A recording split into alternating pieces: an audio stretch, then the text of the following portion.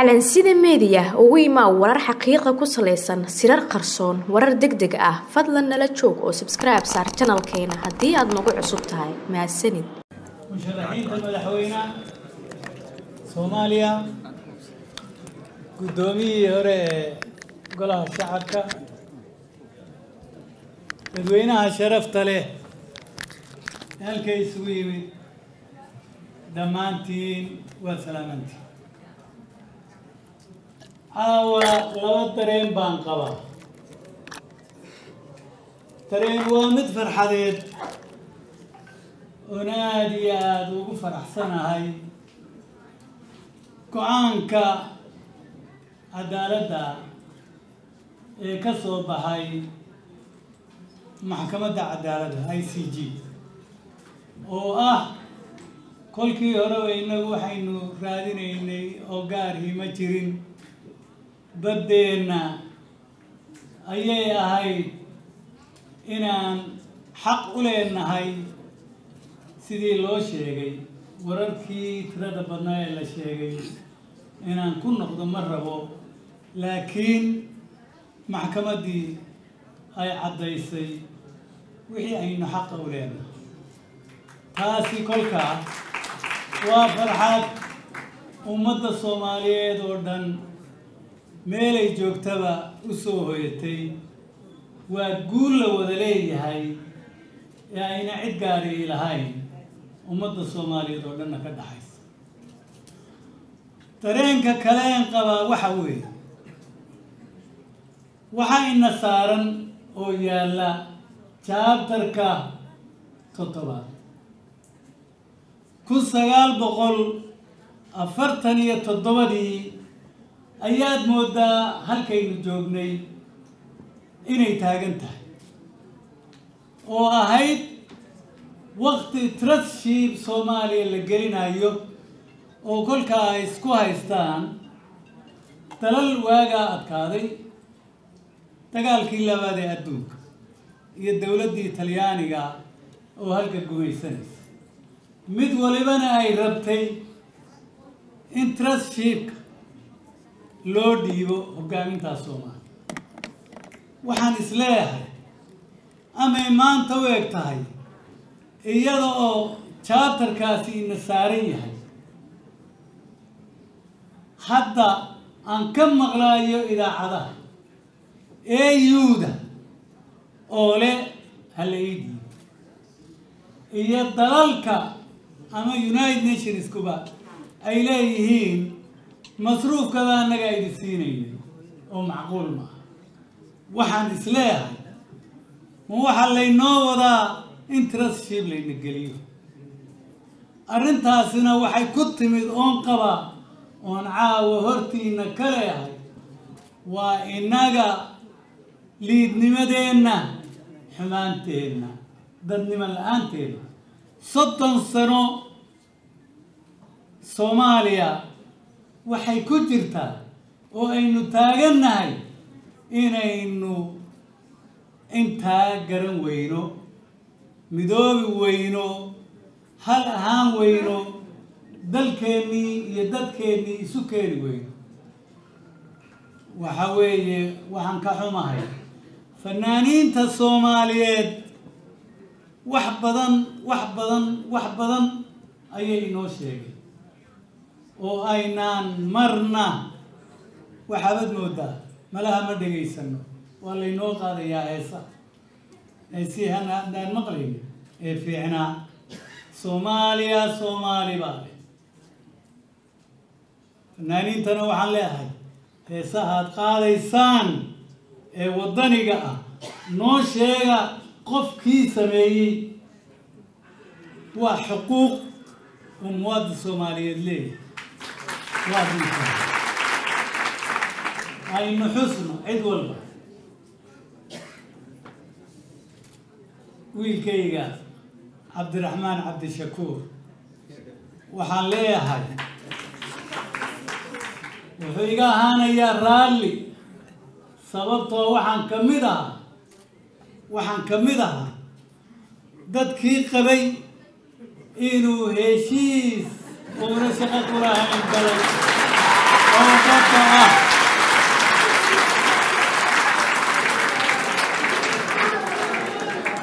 baarlamaankii sideedaan ku jirayna waxaan qabaa hal shay oo fiican buu ahaa waxaanu samayn go'aanka yagu wuxuu ahaa magaca la siiyey waxaa la odhan jiray dhaxaldhowr dhaxal dhowr oo micnihiisu ahaa bad berri iyo hawo ilaa dowlad soomaaliyeed oo shicibka soomaaliyeed doortay ka timaado saddexdaa cid ka hadli kartay ma jirto. Intaasoo horta ahaa go'aankii aanu gaadhnay waaga marka waxaan leeyahay icafi oo waxaan ma aha keligay waxay ahayd xubno badan baanu ahayd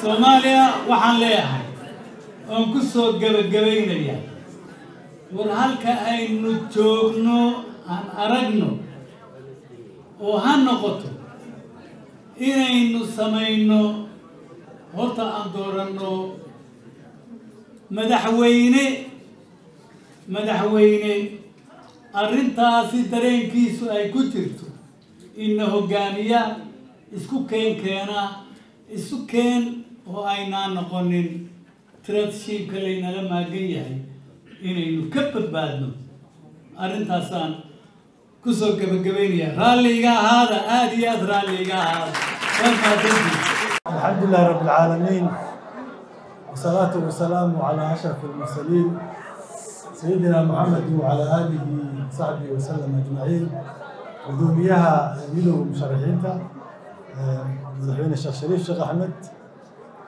gudoomiyaha aqalka sare guddoomiyaha reer baarlamaanka madaxweyne xasan sheekh madaxweynihii hore iyo asxaabta kale raal wasaarihii hore masacali kheyri asxaabta kale musharaxiinta waa in salaamayaa iyo shacabka soomaaliyeintaba asalaamu calaykum waraxmatullahi wabarakaatu sida la sheegay cawada waa cawo dabaaldeg loo dagaaldegaayo guul taariikhi ah oo u soo hoyatay shacabka soomaaliyeed. Dhammaantiis meel kasta uu joogo midka ku nool jamhuuriyadda iyo midka aan ku noolayn jamhuuriyadda intaba guushaasna waxaa dhammaanteen ay tahay inaan si midnimo ah ugu dabaaldegno maadaama xaqiijinta guushaas xukuumad shacab iyo dowlad intaba ay ka qayb galeen sidii loo gaari lahaa guushaas waxaa wax ku leh oo kaalin ka qaatay dad soomaaliyeed ee america markaas joogay oo isxilqaamay waxaan xasuustaa gabadha kayska dacwada gacanta ku haysay xooggeeda muuna sharmaan oo halkan aad u mahad celinayo yaa waxaa ii soo diray madaxweyne xasan sheekh markii ay dacwada la geynayo badda. Way la fadhiisata waxay tiri wasiir maxkamada u soconaa mana rabnay tiri wax kadisa inay nagu soo baxaan. Oo dowladda kenya iyo looyaradeeda wax kadis ah oo annaga aan ogeyn inay nagu soo baxaan ma rabno. Waa caadi maxkamad markaa ka garanayso.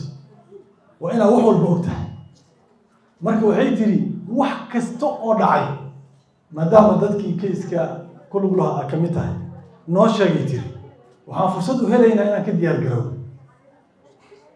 waxaan ku yidhi muunay dhegeyso waanay maqlaysaa waanay maqli doontaa. Waxaan ku yidhi wax haba yaraatee. Dowladda kenya qof ka tirsan madaxdeeda ama aan ka tirsanayn kayskaas nagu dhex maray. Oon ahayn maalintii m o u-ga aan ma jirto.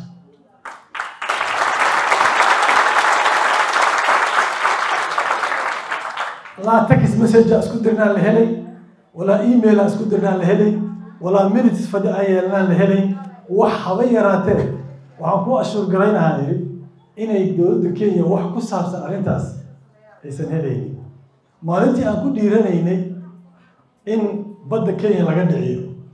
Oo m o u-ga aan siixno oo madaxweyne sheekh shariif iyo ra'isul wasaare cumar cabdirashiid oo xukuumadda joogay.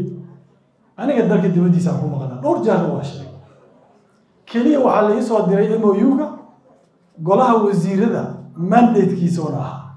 Waa la socotiinoo saxiixyada caalamiga ah. Wasiirka arrimaha dibadda ama prime ministerka unbaa dowladda u saxiixi kara. Labadaba maadaama aysan joogin power of attorney wax la yidhaahdo ayaan ku sayaxay kama shakinin dowladdayda. Golaha wasiirada inta fadhiistaa qalad isku raacaa marna iguma soo dhicin inkastoo nin sharciga wax ka yaqaan aan ahay oo khabiir ku ahay sharciga badda laakiin at least sideed sana sharci darsahay waxuga gara kara og takiskana very simple oo ah waxa ku qoran. Laakiin waxaasoo dhan waxaa ka muhiimsanaa inaan dowladda aaminay oo go'aan golaha wasiirada uu gaaray sida hadda borso jawaari uu sheegay dowladda norway iyo wada cabdallo wada socda ayaa u yimid dowladda oo ka tala siiyay arrintan inuu daylanka dhacay waktiga dhammaanayo haddaanan mougaas la gelina baddayni ay international ku biirayso badaha caalamiga oo gacanteena ay ka baxayso. Inuu si fiican faahfaahiyaan jeclaa. Iyo sababtoo ah mouga baarlamaankii sideedaad diiday kii sagaaladaa soo celiyay jawaari waa u yahay. Mougii baarlamaankii sideedaad ou diiday oo sida qaladkaa ku diiday. Baarlamaankii sagaalaad jawaari madaxda ka ayaa soo celiyay. Sababta waa loo baxday waana midka maanta loo baxsan.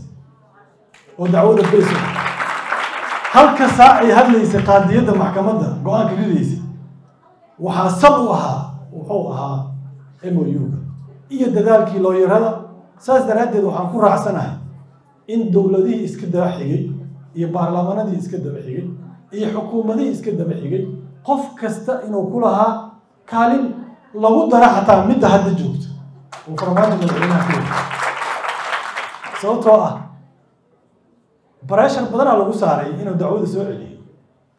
Oo wadahadal banaankaa la galo. Laakiin muusan yeelin xukuumadihii iska dambeeyey oo ra'isul wasaare kheyra ka joogo iyo ra'iisul wasaare hadda ninkii joogo roble iyo isagoo madaxweynaha ahaa iyo baarlamaankiiba qof ku dhiiratoo soo celisa ma jirin taas naftooda waxay ku mahadsan yihiin inay kaalintaas ay lahaayeen. Madaxweyne xashan sheekh sidoo kale ninkii ku dhiiraday dacwada inuu geeyo waxa aan xashi ku ammaana waxaa ka mid ah. Eezadkeenna eezadka economic zonekeenna proclamation ma lahayn. Markii aan ka dacwoono kalluumaysiga sharci darada waxaana la dhihi jiray eezadkiina declared ma ah. Kama diiwaan gashan united nation isagaa diiwaan geliyay shirkii shirkii london yaan kala shaqaynayay. Xaafiiskiisa markaas la taliyo u ahaa eezadka lagu soo daray madaxweyne waxaan idhi bahalkan amaa ku gubata annaga hortaa ku gubane war ka leexaw dhahay.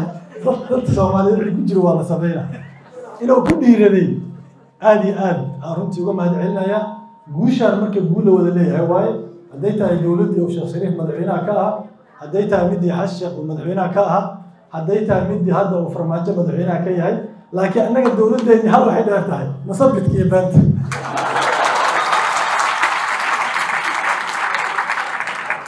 annagii sheekh shariif iyo cumar cabdirashiid guusha waxaa ka wada keenay laakiin masabidkaa dad ka dheer. Dhahay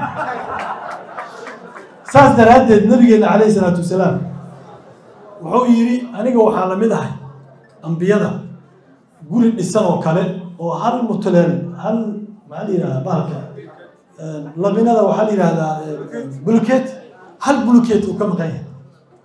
Aniga bulketiga oo dhahay marka wuxuu dhahay bucistu liutamima makaarim alakhlaaq. Aniga waxaa la ii soo dira u dhahay akhlaaqda teeda wanaagsan inaan taam yeelo inaan bilaabo ma dhihin. Adduunka sifiga ilbaxan wuxuu ku dhisan yahay maamulba maamulkii ka horreeyey inuu appreciate garay oo ka mahad celiyo guushii oo gaaro oo dhan wax ku dul dhiso. Taasaa adduunka ilbaxa yaqaanaa. Diinteenna xaniifkan nabigeennani taasay taqaanaa. Ciddii kaa horreysay waxay qabatay si adiga taada loo appreciate gareeyo ina adigana midii kaa horreysay appreciate garayso waa dhaqanka suuban. Runtii waxaa laga yaabaa dad badan inay isweydiiyaan.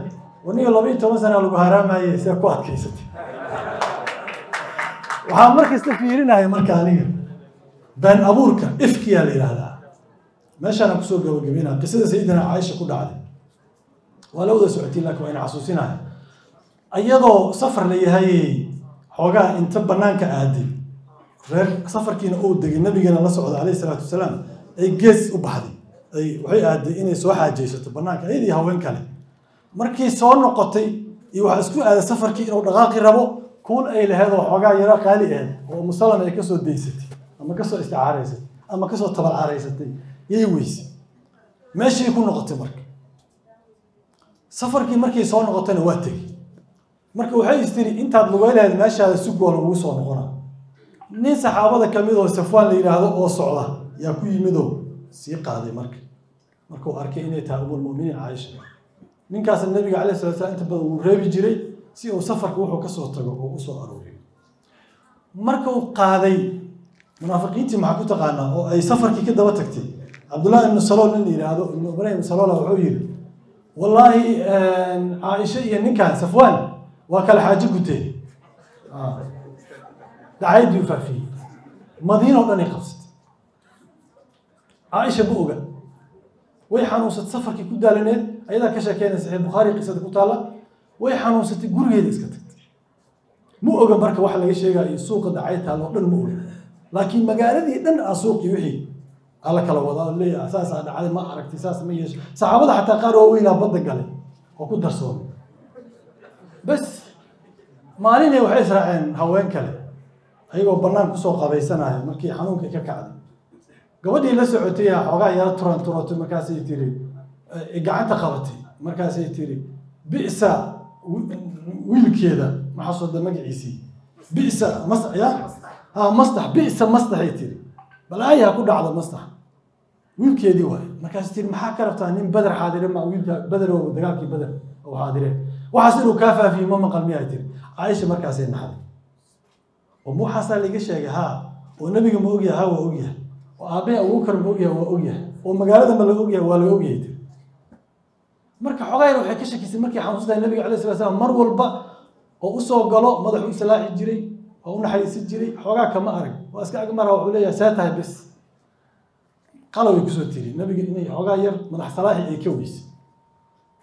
Bes guriga hooyadeed aabbaheed aadii hooyadeed sidii haweenka lagu yaqaanay gurigii markay tagtay ee aabbaheed tiri aabbo waxaan maxaa iga qarisee abubakar waayadee abubakara dhala caaisha ogtii hooye waxaan maxaa laiga qari way naxeen labadoodiiba way iska oysay adiga markii bil la maraa waxyigiina waa degaa waxyigii waa degaa nabiga alay waxyigi waa ku degaa nabiga intaas laakiin arrimaha caaisha lagama hadlayo suuqiina wuxuu u socdaa si aan caaday nabiga markii dambe wuxuu u wacay usaama ibnu zayd iyo wuxuu wacay cali bin abi daalib wuxuu yihi wax xumaana caaisha maku ogtihi markaas le ma yaa rasuul waxba kuma ogi caliga marka wuxuu yihi jaariyadda weydii gabadha jaariyadda ah. Gabadhiyo weydiiyey nabiga wax xumaana weligii kuma argayta caaisha. Haba yaraatee. Marka nabiga waa soo baxay guriga habeeda uga daba yimid hadal u dhahay marka wuxuu yihi caaisha haddii aad dembiga samaysan ilaah u toobakeen haddii aada samaynina waxyiga ku beri yeeli doona caaisha way naxda marka. Aabeed abuu kale tiri aab u jawaab. Maxaa ugu jawaaba u dhahay? Hooyaday tiri u jawaab. Maxaa ugu jawaaba ay tiri nabiga? Hadalay tiri marka waxay tiri haddaan dhaho waxaan ma samaynin iga rumaysanaysiinay tiri. Haddaa idhaahda waa sameeyane yah iga rumaysanaysaa ay tiri. Kaastaana rumaysateen. Sababtoo a labalabaaba la geliyo warkii mogta ciddaada marka waxay weysay wax ka jir lama arka warkaana garab istaag xoogaa markii la joogay nabigii waa la qabtay sidii waxay u soo degi jiray tiri qisada bukhaariga ku warinaysaa dhiidkii sidii lagu yaqaanay qur'aankii aa ku soo dega aayadii ifkigoo taqaaniya toddobada aa soo degay. Aa la beriyaa abubakara marka wuxuu yidhi caaisha istaag ee nebiga raaligeli u mahad celi u mahad celi. Ha ka yaabinay tiri ilaha u mahad celinahay tiri beriya marka adduunka been abuurka wax ka xun ma jiro